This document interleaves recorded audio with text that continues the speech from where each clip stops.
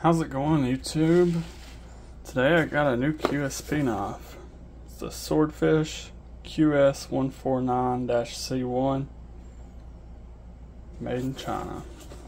Look at the box real quick. Comes with a little specs card like that. And they do about the same stickers every time. Sometimes they're different colors. Little foam insert box. Not a whole lot to it. Box nice and sturdy. And here's the knife. Got a very good looking brown burlap micarta. Doesn't have a whole lot of texture, but it's not bad either. I'd say it's about middle of the road micarta. Flipper tab. All thumb studs also. As you see, we got a Wharncliffe blade, 3.6 inches. It's 14C28N and it's stone washed with a flat grind.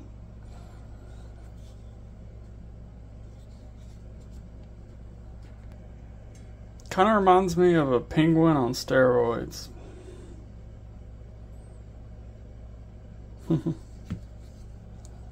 this knife's retail for $70.50, at least this version. They have a they have it in green micarta, stonewashed or black blade. This comes with a stonewashed black blade, and they got a black and red G10. It's a dollar cheaper, and one other color. I want to say it's green and black G10. Not positive though.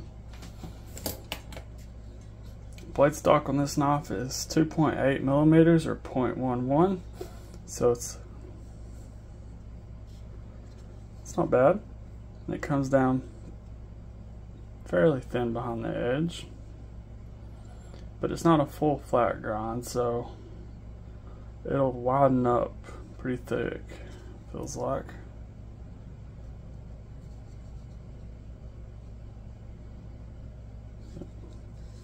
Got a little bit of jimping up here on the blade. It's definitely a full-size knife. I can get my whole hand on it. 8.12 inches, 8.12 inches. Let's go ahead and do the size comparisons.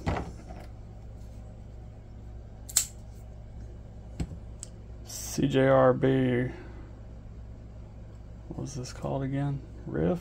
Maybe it's called the Riff.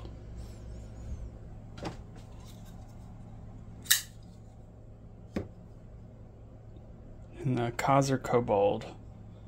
Um, the QSP is a little bit smaller than both of these, but it's really, really close. Pretty much about the same size.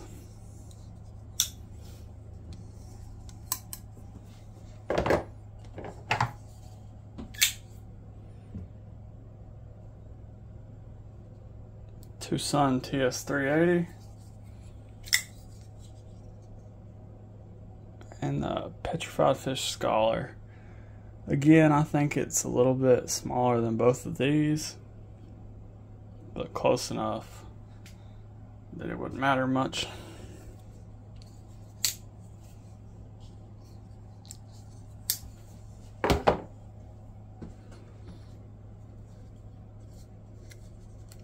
You got a 4.5 inch handle. It is 0.48 inches wide. The close width in the pocket right here 1.52. You got T6 body screws, the T8 pivot, and you do have a reversible deep carry wire clip.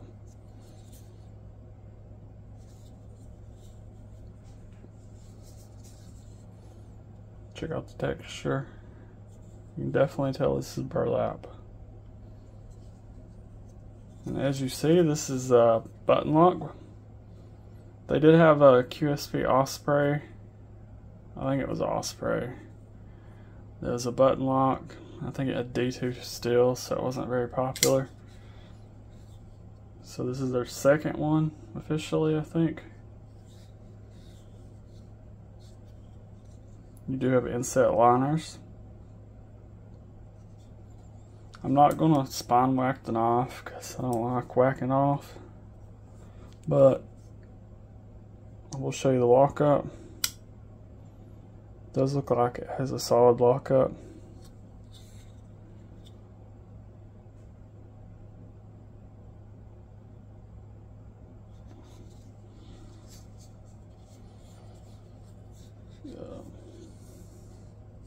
and there's no button stick or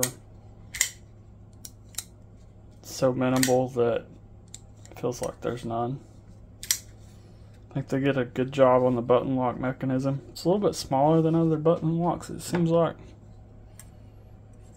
Yeah, it's got a little circle in it.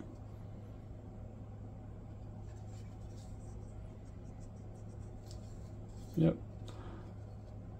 You got flat scales, but there's, um, what am I trying to say?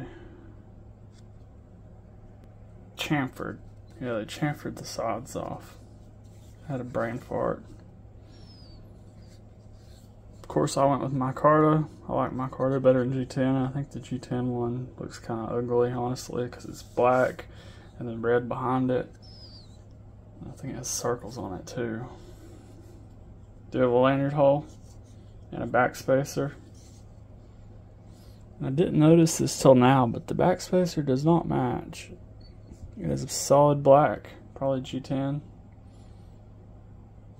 I don't know why they did that. They could have matched it up.